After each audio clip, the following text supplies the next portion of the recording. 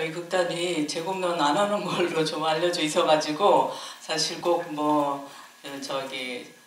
저 초연만 하는 극단으로 알려지는 거는 그렇게 좋은 일은 아닌 것 같아요. 사실은 외국에서 오는 그 극단의 작품들이 다 재공연 재공연 수십 번을 해서 그렇게 반질반질하게 해서 멋지게 해서 오는 것인데 저희들 그러니까 우리나라에서는 재공연에 대한 평가가 그렇게 넉넉하지가 않은 것 같아요. 그래서 그런 부분에 대해서 저희는 그 재공연이 꼭 필요하고 극단마다 레퍼토리가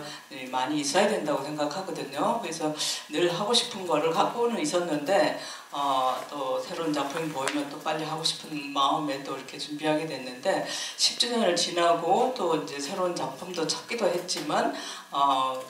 그 제대로 이렇게 딱 그 마음에 드는 작품이 안 찾아진 이유가 또 있기는 하고요. 그 다음에 그 전에 했던 작품 중에서 꼭 하고 싶었던 작품 중에 이제 이 작품이 굉장히 여러분들도 이제 텍스트를 읽어보시면 저희가 최근에 했던 작품들이 옴니버스 스타일이었기 때문에 짧게 짧게 찍게 돼서 좀 이렇게 뭐 저희들은 이제 출신이 이제 문학 쪽에 공부했던 사람들이 돼서 문학성을 굉장히 중요시하고 문학 작품으로서 깊이가 이렇게 좀